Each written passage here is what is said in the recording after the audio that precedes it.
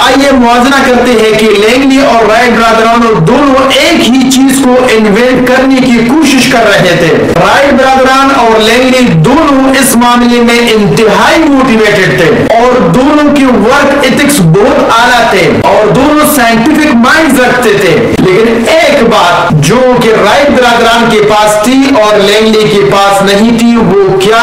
وہ ایک clear purpose اور اس پرپز کی وجہ سے اپنی ٹیم کو انسپائر کرنا یعنی وائی اور اس وائی سے انسپریشن دینا۔ انہیں ایک شہرت اور دولت سے موٹیویٹڈ تھا، جبکہ دوسرے کے پاس بلیف تھا۔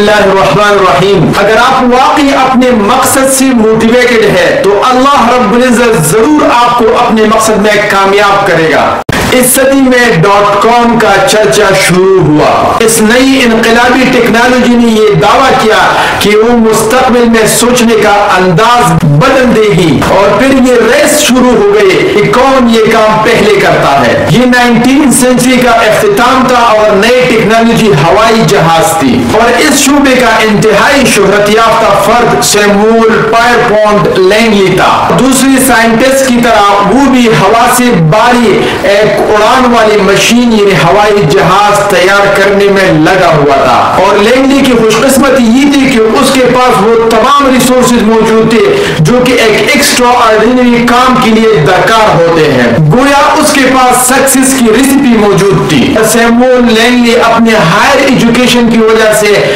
ایسٹرونمسٹ مانا جاتا تھا۔ اور اس کے پاس بہت سارے اچھی پوزیشنز بھی تھے۔ پر یو اس نیول اکیڈمی میں وہ میتھمیٹکس کا پروفیسر بھی تھا۔ اور اس کے فرینڈ سرکل میں اینڈریو کارنیگی اور الیگزینڈر گراہم بیل جیسے بڑے بڑے نامور شخصیات تھے۔ اور اس کے ساتھ ساتھ بڑے بڑے بزنس مین بھی اس کے ساتھ وابستہ تھے۔ اور صرف یہ نہیں، بلکہ یو ایس کے وار ڈپارٹمنٹ نے اس کو اس پروجیکٹ کے لیے پچاس ہزار ڈالر دیے تھے، جو اس وقت ایک بہت بڑی رقم تھی۔ تو لینلی نے اپنے ہم عصروں میں سے سب سے زیادہ جینیس لوگوں کو جمع کیا۔ اور اس کی ٹیم میں چارلس مینلی اور سٹیفن بلیزر شامل تھے۔ آپ کو ہم بتاتے چلے کہ چارلس مینلی ایک جینیس انجینئر تھا اور سٹیفن بلیزر وہ شخص تھا جنہوں نے نیو یارک میں پہلی مرتبہ موٹر کار کو تیار کیا تھا۔ لینگلی اور اس کی ٹیم نے زبردست قسم کے مٹیریل کا استعمال کیا۔ آخر کنڈیشن بھی ان کے لیے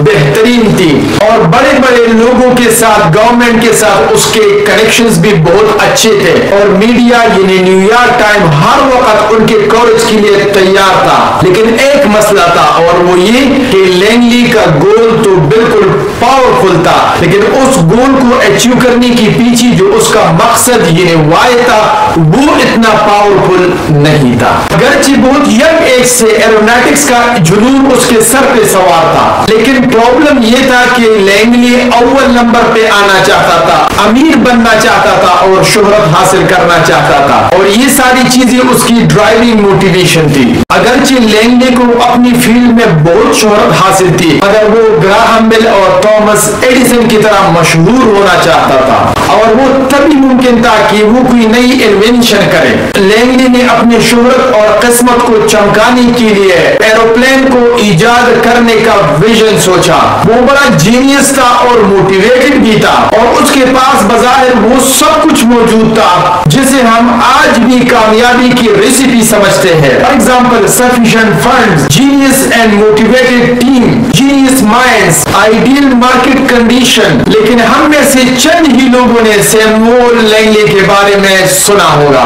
اور اس سے چند میل کے فاصلے پر ڈائٹن اوہایو میں دو بھائی ویلبر اور اورول رائٹ برادران بھی ہوائی جہاز بنانے کی تیاری میں لگے ہوئے تھے۔ اور لینگلی کی طرح ان کے پاس سکسس کی ریسیپی بھی موجود نہیں تھی بلکہ صحیح کہنا تو یہ ہوگا کہ ان کے پاس ناکامی کی ریسیپی موجود تھی مثلا اس پروجیکٹ کو کمپلیٹ کرنے کے لیے ان کے پاس پیسہ نہیں اور کسی قسم کی گورنمنٹ سپورٹ نہیں اور نہ ان کے تعلقات بڑے بڑے لوگوں کے ساتھ تھے بلکہ وہ اپنی ویژن اور پرپس کو اچیو کرنے کے لیے فنڈنگ اپنے سائیکل مرمت کرنے والی دکان سے کرتے تھے اور ان کی فیلڈ میں کوئی سائنٹسٹ نہیں تھا، بلکہ رائٹ برادران نے تو خود ہائی اسکول تک تعلیم بھی حاصل نہیں کی تھی۔ ان سب چیزوں کے باوجود رائٹ برادران جو کچھ کر رہے تھے، وہ لینگی سے بالکل مختلف نہیں تھا یعنی ایک ہوائی جہاز کو بنانے کا خواب ان سب مشکلات کے باوجود رائٹ برادران جو کچھ کر رہے تھے، وہ لینگی سے مختلف بالکل نہیں تھا